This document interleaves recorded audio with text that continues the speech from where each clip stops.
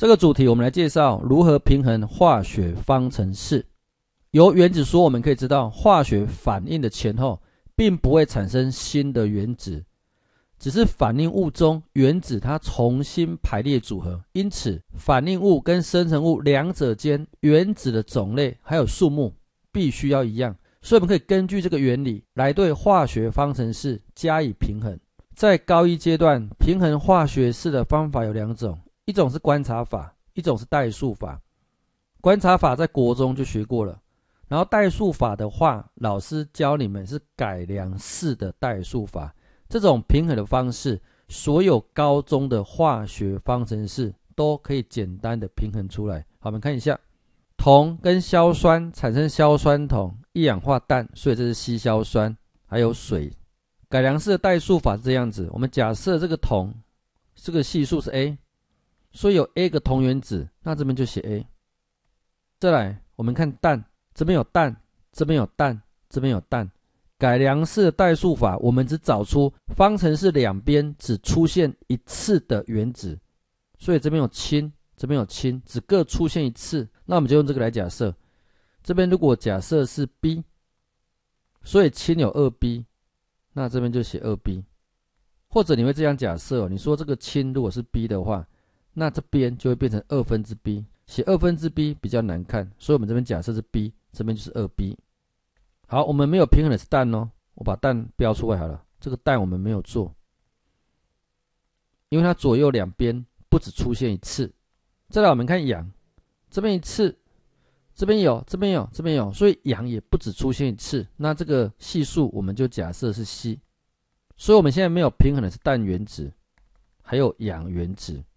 好，我们看氮，二 b 乘以一，所以这边氮有二 b 个，等于这边，好，小心哦，这边有框框乘以二嘛，所以这个氮有二了，再乘上 a，所以是二 a，再加上 c 乘以一 c，再来看氧，这边三，二 b 乘以三，六 b，等于这边三二得六，六乘以 a，六 a，再加上一乘以 c。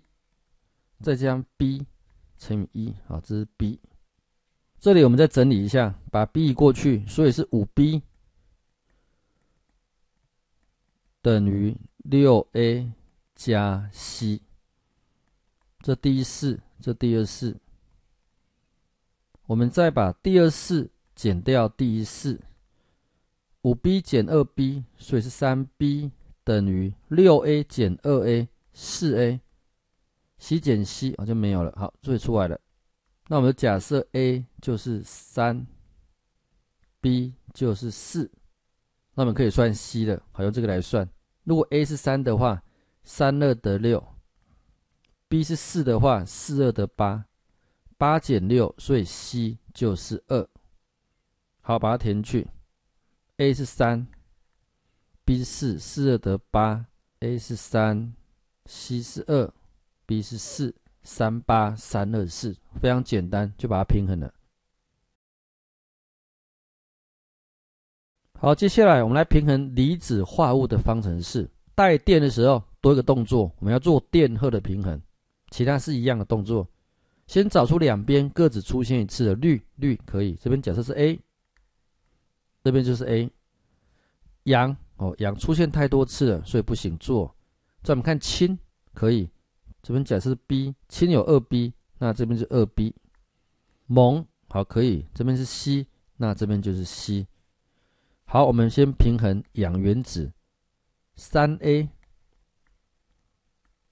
再加上二 B 再加上二 C 等于四乘以 C，四 C 再加上 B，啊，这氧原子。再来我们做电荷的平衡。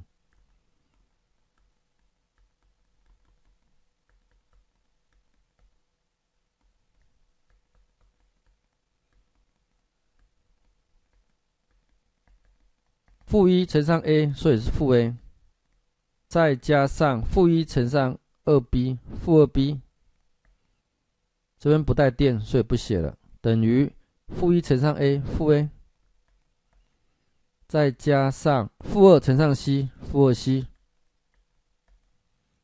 这边不带电，所以不需要写。这里我们整理一下：三 a 再加上 b 移到左边，二 b 减 b 再加 b 等于二 c 到右边，二 c。好，再我们看这个电荷平衡，负 a 负 a，所以消掉了。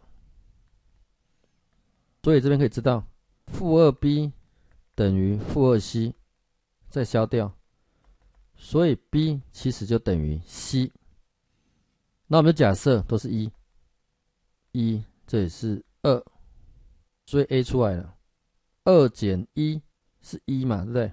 所以 A 就是三分之一。